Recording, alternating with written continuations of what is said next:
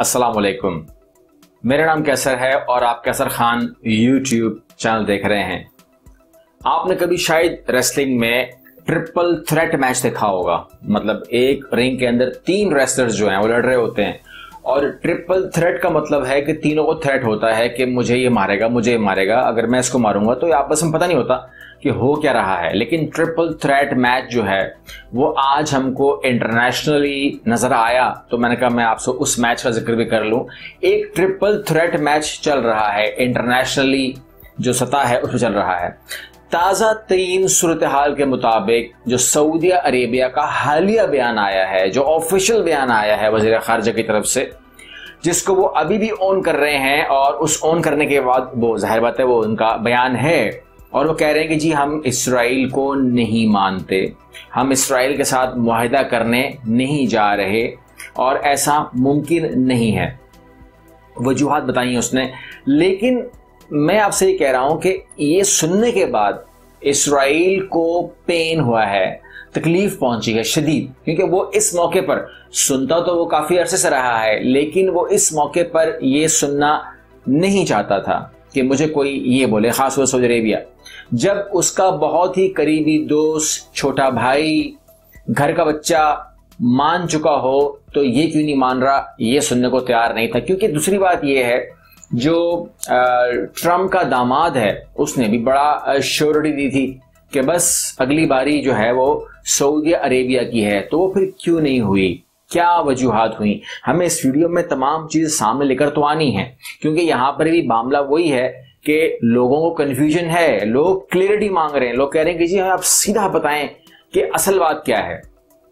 सीधा मामला देखें, पहली बात तो ये कि धोखेबाजी तो है, बातचीत में धोखेबाजी है, गुफ्तगु में धोखेबाजी है, इसलिए कंफ्यूजन क्रिएट होती है। सीधी और सच्ची बात तो कोई कर नहीं रहा। इसलिए भी कंफ्यूजन है। आप सुनना चाहते हैं खरी बात। तो खरी बात तो हो नहीं रही है। इस टाइम बात हो रही है मिल मिला के। तो आपने उसी के अंदर से समझना है पकड़ना है।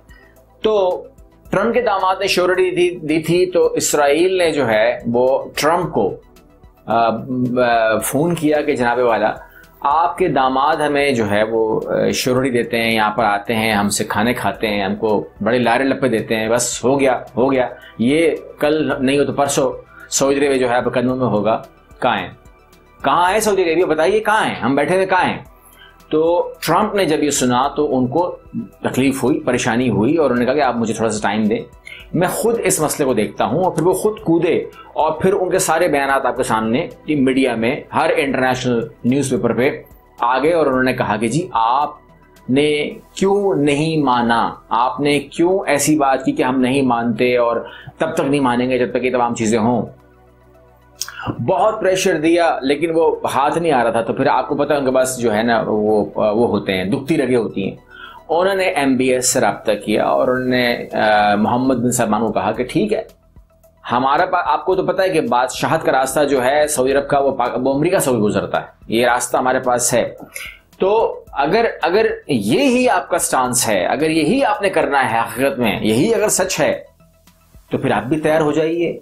आपके लिए भी जो हमने प्रोग्राम बनाया है केस बनाया है, आप भी हाजिर हों, आपको भी बादशाह नहीं मिलेगी। यह बात याद रखिएगा बादशाह नहीं मिलेगी। अगर मैं सदर नहीं बन सका तो फिर आप भी बादशाह नहीं बनोगे, क्योंकि नवंबर सर पे है। आप जानते हैं नवंबर में क्या होने वाला है।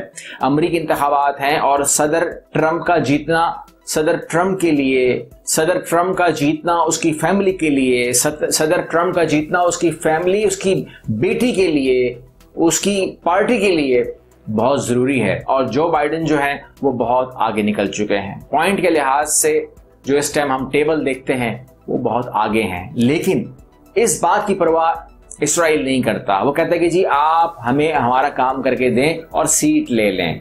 क्योंकि जो प्रेसिडेंशियल सीट है यूएस की, वो जीत कर नहीं, वो तोहफे में दी जाती है। और तोहफा तैयार है, मगर आप हमें भी तोहफा देना वो कहते हैं कि जी, वो हमने आपके लिए दुबई, वो कहते हैं, दुबई छोड़ दें। हमें जो है सीधा गर्दन पे आना है। तो वो उन्होंने डिमांड की। अब उस पर डिमांड के ऊपर जवाब जो सऊदी अरब का आया, आपको मैं बता दिया कि वो कह रहे जी, जब तक जब तक यानी कि उन्होंने कहा कि जी, देखें जो वज़ीर खारजा सऊदी अरबिया के हैं, उन्होंने बोला कि जी, बात यह है कि इसराइल के साथ जो ताल्लुक दुनिया ने कायम किए, उन्होंने उसकी कीमत वसूल की है। हर मुल्क ने उसकी कीमत वसूल की है और हम भी एक कीमत वसूल करेंगे। हम बिना कीमत वसूल किए इसको कबूल करने नहीं जा रहे। और वो और कीमत ये है। वो कहते हैं कि वो कीमत यह है कि आपको आज़ाद, खुद मुख्तार फ़लस्तीनी रियासत देनी होगी, जिसका दारुल हुकूमत बैतुलमुक़द्दस होगा। यानी कि जहाँ आज यरूशलेम है, वहाँ पर हमें बैतुलमुक़द्दस होगा तो फिर हम उसको तस्लीम कर लेंगे। इसराइल को फ़ौरन तस्लीम कर लेंगे, बल्कि यही स्टांस तो पाकिस्तान का भी है, फिर कौन नहीं तस्लीम करेगा? तो वो उसने अमरीका को पैगाम दिया कि जी, ये मेरे हाथ में नहीं है, ये इसराइल के हाथ में है और हम उस स्टांस को नहीं छोड़ सकते।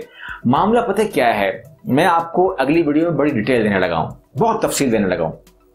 आपको समझ में सारा कुछ आ जाएगा, इस वीडियो में जो समझ में नहीं भी आया, उसमें क्लियर हो जाएगा, लेकिन मामला ये हुआ है कि शाह महमूद कुरैशी साहब ने एक बहुत ही ज़बरदस्त और कामयाब तरीन दौरा। मतलब जितने दौरे भी आपने प्रीवियस देखे होंगे, पाकिस्तान के, चाइना के साथ हुए होंगे, ना इतनी गर्म जोशी आपने कभी देखी होगी, ना इतना हँसी मज़ाक देखा होगा, ना आपने ये कोनियाँ देखी होंगी, और ना आपने ये तमाम जो बॉडी लैंग्वेज है, ये देखे होंगे। यानी कि वज़ीर खारजा चीन के, ये मतलब वर्ल्ड पे दो वज़ीर खारजा को दुनिया मानती है, एक यूएस का और एक जो है वज़ीर खारज चीन का। ये इसके बाद कोई और नंबर नहीं आता। लेकिन आप ये देखिए जब पाकिस्तान का वज़ीर खारजा वहाँ पहुँचता है तो वो जिस तरीके से उन्होंने बाहें खोली हैं, और जिस तरीके से उन्होंने कोनियाँ मारी हैं, और जिस तरीके से वो उनके जो बॉडी लैंग्वेज थे, जो चीन की खुशी का इजहार था, वो बाकायदा मतलब झलक रहा था, नज़र आ रहा था।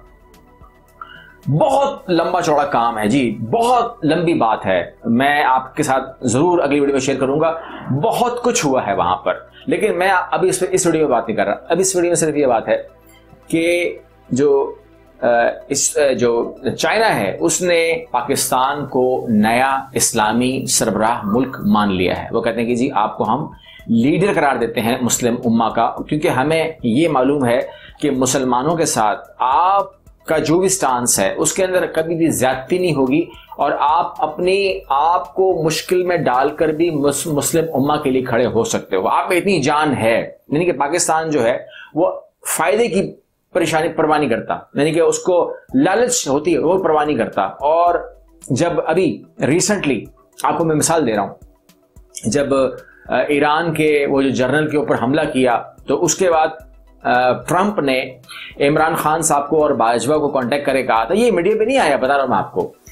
ट्रंप ने बाजवा साहब से और इमरान खान को कहा कि जी, हमें यहाँ पर अड्डा चाहिए, एक अड्डा हमें चाहिए जो ईरान से करीब हो। गालिबन हो सकता है वो, उन्होंने बलूचिस्तान कहा हो। मेरे इलम में नहीं है, मगर उन्होंने एक अड्डे की बात की थी कि हमें एक अड्डा यहाँ पे फॉर इमीजिएटली चाहिए फॉर अ टाइम बीइंग ये जो हमारे साथ होने लगा है मसला ईरान का तो वो हमें करना है, सही करना है, उसको ठीक करना है। लेकिन पाकिस्तान ने उसको मना कर दिया। ये बात पाकिस्तान ने हमको बताई नहीं।